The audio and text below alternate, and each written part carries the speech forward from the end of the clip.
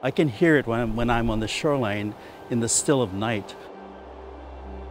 I can hear the, the, the breath of a whale. Um, but in our culture, ha is the breath. And Hawaiians believe that ha is what gives us life. Here is this enormous and beautiful creature, the kohola, and it in its own life has the real resonance of breath. And it reminds me that as a Hawaiian person, when I hear that that blows out from the spout, it is also to reflect on me that it is a part of who we are. And we share the same important cultural concept of life, and it comes through the ha, the breath. Yeah.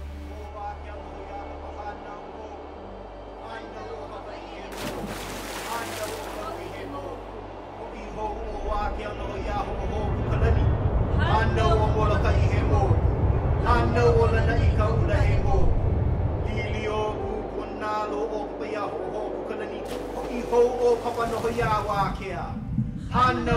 He mōku. O kawa i he mōku. O ni hau he mōku. He ula o ka ho lawe. One of our main missions is monitoring the population of humpback whales here in Hawaiian waters and really beyond. There are still threats out there. They've they've recovered. There, there's more whales now than there has been recently, but still there are the risks of ship strikes, entanglements, and other health issues and concerns.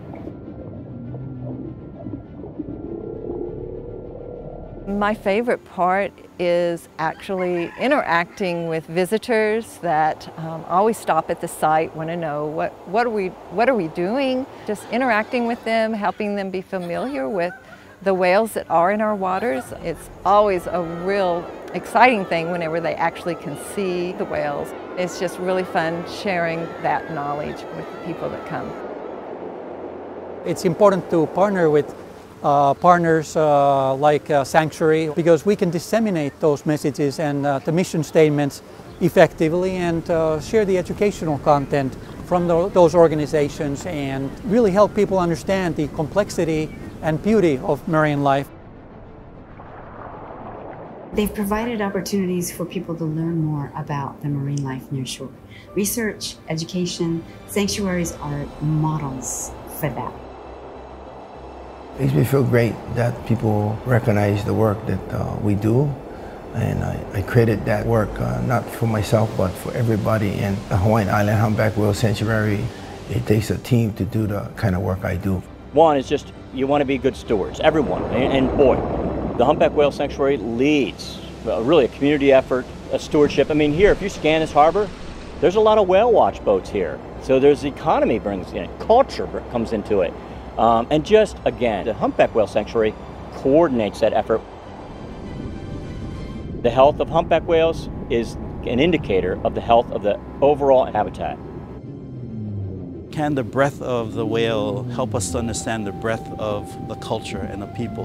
Can the, the strength of that magnificent animal also remind us of the strength of a culture of people who have been here for nearly 2,000 years? And so somewhere in this is a, a journey and a voyage that I hope that will be closely uh, knit together so that they're inseparable in how we understand this place and in particular the kohola and its uh, relationship and alignment to the people of Hawaii.